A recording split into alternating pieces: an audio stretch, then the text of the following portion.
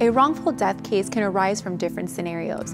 It could be a wrongful death from a car accident, from a medical malpractice. Wrongful death cases are proved very similar to a regular type of car accident case or a negligence premises case. Basically, the negligence has to be proved, and then we have to prove that the wrongful death occurred because of this negligence. A wrongful death claim gets filed by the survivors of the person who passed away or the estate of the person that passed away. Wrongful death cases, just like all other type of cases, cases do have a statute of limitation, but the statute of limitation depends on the circumstance of how the death occurred.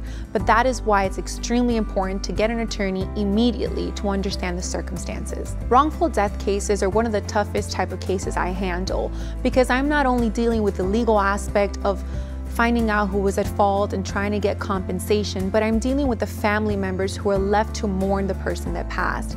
And that typically takes a big toll on that family. When someone passes away due to the negligence of someone else, the estate of the person that passes or their family members are the ones that become compensated for the loss of a loved one. In wrongful death cases, the type of compensation we seek for the survivors of the person who passed is mainly for what type of earning capacity that person was going to provide for that family, the love and care that person was going to provide for that family.